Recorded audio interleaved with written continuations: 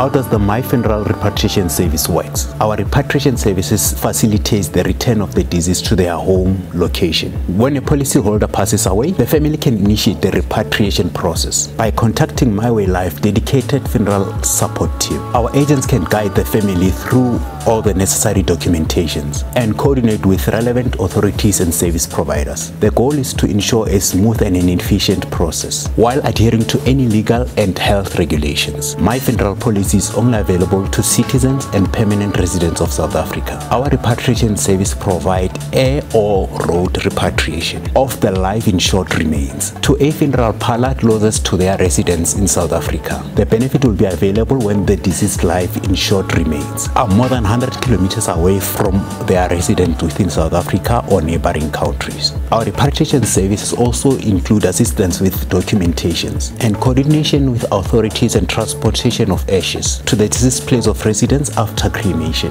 The MiFuneral team understands the emotional toll of losing a loved one and is committed to providing empathetic assistance. We also offer access to a 24-hour counseling bereavement line. Losing a loved one is never easy, but MiWay Life, MiFuneral uh, policy can provide your family with the resources and support you need.